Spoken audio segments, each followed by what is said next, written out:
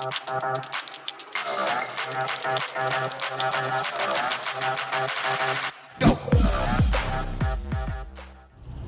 this is Takahiro Omori. This is a rod I designed for Tatula Elite Series rod for Daiwa. This is 7-3 heavy action.